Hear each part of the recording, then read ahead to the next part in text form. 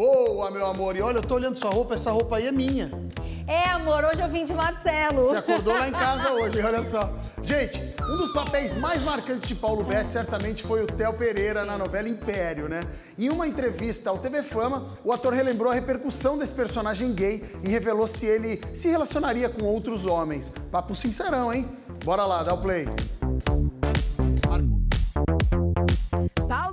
Foi um dos apresentadores do troféu Raça Negra ao lado da jornalista Glória Maria. E nós flagramos o ator chegando no evento em São Paulo. Que alegria que é poder participar, né? É um desse- encontro, né? É. Um encontro. Você tem histórias legais com a Glória Maria? Ou é a primeira vez que vocês se encontram no palco apresentando? Eu tenho uma história muito engraçada com a Glória, porque ela foi me entrevistar para o Fantástico. E, e a gente estava sendo devorado por mosquitos. E era na minha casa, então eu estava morrendo de vergonha. Assim, Com mais de 40 anos de carreira, Paulo Betti acumula muitos personagens marcantes, como o inesquecível Theo Pereira de Império. Descubra tudo sobre Cláudio Balgar. Só segredos. De preferência, os mais cabeludos. Eu posso dizer pra você que a gente se divertiu nessa com o Império. "Querida." Adorei sim. você. Nossa, você divertiu nossas noites mais uma vez. E foi um prazer ver esse personagem de novo no ar, né? Olha, eu eh, confesso que eu gostei muito, porque, eh, eh, porque fazia as pessoas rirem.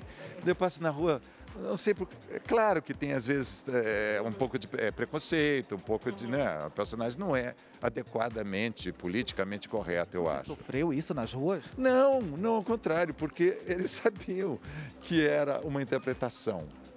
Era divertido porque eles sabiam que era uma brincadeira, que era um jogo, né? Que eles sabiam que eu não era gay.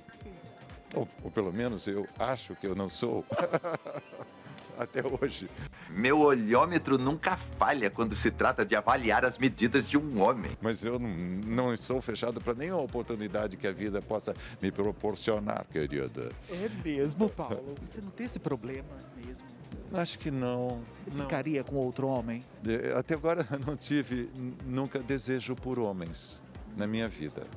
Isso acontece, né?